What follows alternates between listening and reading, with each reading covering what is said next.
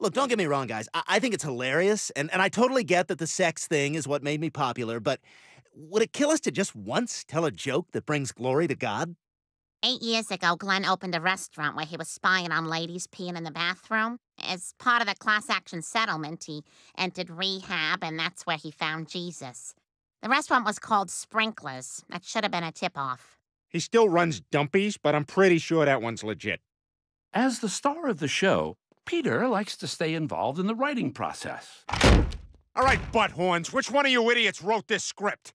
Uh, I did. Oh, would you write it like on a computer? Yeah? So you know a lot about computers? Yeah. Can you show me how to turn off the flashlight on my phone? Don't touch my phone! And another thing, I read this piece of garbage script. It's only one page. That's never gonna cut it. Uh, that's just the cover. You can turn the page, like this. What, why are you hiding all these pages behind the first page? What's wrong with them? Stand by your work or get out. Now spit in each other's mouths.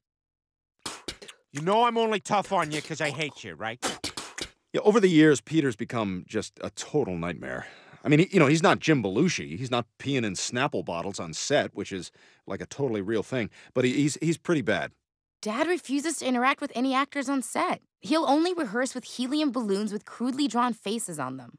I'm sorry, Meg, but you're grounded. But, Dad, the prom is tonight. Over. You heard your father, Meg. Over. Peter, you ready to hit the drunken clam? Over. It's difficult having to give up my chair for the balloon, but that's the business we call show. Excuse me, Joe.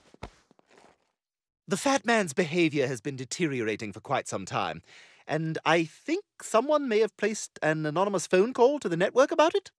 You have no idea how bad it is here. He screams and yells and he makes a V with his fingers and then licks it like la la la la la la, which I am to understand is something dirty. Please do something. And if possible, I'd love a Master Chef t shirt. Word around the stage is they've decided to finally fire Peter and replace him with another actor. And this time it's permanent. Not like when we killed off Brian for a few episodes so he could shoot that crappy movie. What was it? It was a remake of Old Yeller where the dog gets the drop on him and kills him first.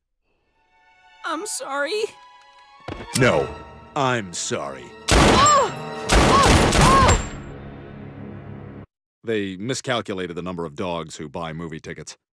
It's actually pretty awkward. I mean, Dad's the only one in the whole production who doesn't know he's being fired. But he'll find out tomorrow at the table read. This is how we did that. Bet you didn't know.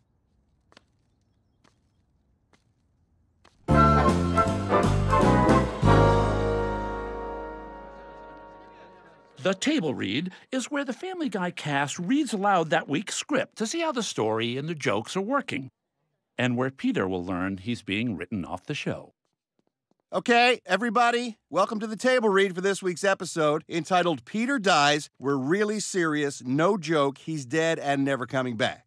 Oh, and there's other pages. You gotta turn them. Here, let me show you. Interior Griffin's living room. Day. Brian, Meg, and Chris watch TV. Lois enters upset. You guys, I have terrible news. Your father is dead. He was shot in the head while killing himself. I suppose he had his demons and his enemies. Wait, I'm. I'm what? Oh, oh, I know. Stewie's gonna fire up his time machine and undo this. Stewie enters. Brian, bad news. My time machine got a virus that causes Dad to die again if it's ever used. Oh, well, you know what? I, I bet this is all Chris's dream. Wow, I am wide awake. Okay, but th- there's no way this is real. They'd have to bring in someone to replace me. Uncle Ricky, played by sitcom buzzard David Spade, enters. Hi, everybody. Uncle Ricky! Hey, guys, a time period called. They want an object back. Aw, do we have to go to Dad's funeral? Let's just play with Uncle Ricky instead. The family cheers. They do not miss Peter.